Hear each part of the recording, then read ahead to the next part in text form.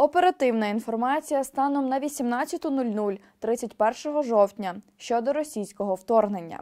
Триває 250-та доба героїчного протистояння української нації російському широкомасштабному вторгненню. Противник намагається утримати тимчасово захоплені території. Зосереджує зусилля на стримуванні дій сил оборони на окремих напрямках, не припиняє ведення наступальних дій на Бахмутському та Авдіївському напрямках. Ворог продовжує обстріли підрозділів Сил оборони вздовж лінії зіткнення, здійснює фортифікаційне обладнання рубежів на окремих напрямках та веде повітряну розвідку. Також завдає ударів по критичній інфраструктурі та помешканнях цивільного населення, порушуючи норми міжнародного гуманітарного права, закони та звичаї ведення війни. Загалом противник завдав до 10 авіаційних ударів та здійснив понад 20 обстрілів з РСЗВ. Крім того, ворожих ракетних ударів зазнала інфраструктура в районах Київської, Полтавської, Запорізької, Харківської, Черкаської, Чернівецької та інших областей. Ворог атакував військові та цивільні інфраструктурні об'єкти 55 авіаційними керованими ракетами, 45 з яких наші захисники успішно збили. На Волинському та Поліському напрямках обстановка без суттєвих змін. Республіка Білорусь підтримує збройну агресію Російської Федерації проти України. Російська Федерація і далі перекидає окремі підрозділи на територію Республіки Білорусь. Також зберігається загроза завдання ракетних ударів та застосування ударних БПЛА з території цієї країни. На інших напрямках ворог здійснював обстріли. На сіверському напрямку з мінометів ствольної та реактивної артилерії в районах населеного пункту Мазенівка Сумської області.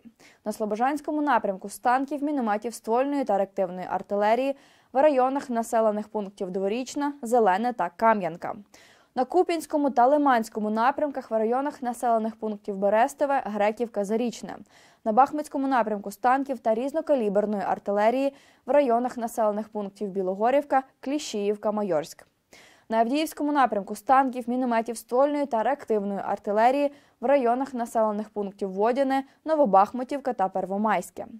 На Новопавлівському та Запорізькому напрямках у районах населених пунктів Времівка, Вугледар та Павлівка. На південно-бузькому напрямку вогневого ураження зазнали райони понад 30 населених пунктів уздовж лінії зіткнення. Серед них Новоданилівка, Червоне та Залізничне. На фоні значних втрат на території України російське воєнно-політичне керівництво шукає спроби поповнення окупаційних військ за рахунок приватних військових кампаній.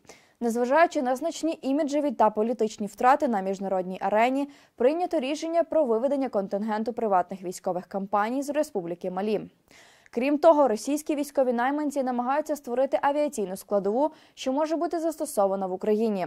Проте ефективність та навченість льотчиків, які використовують різні модифікації Мі 8 не дозволяє виконувати завдання за призначенням.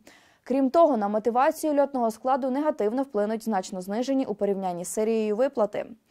Авіація Сил оборони протягом доби завдала по ворогу 14 ударів, 12 з яких по районах зосередження озброєння та військової техніки, по взводному опорному пункту, а також позиції комплексу протиповітряної оборони противника.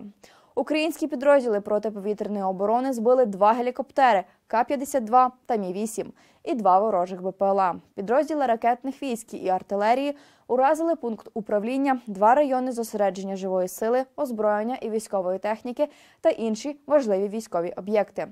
Віримо в Збройні Сили України. Разом переможемо. Слава Україні!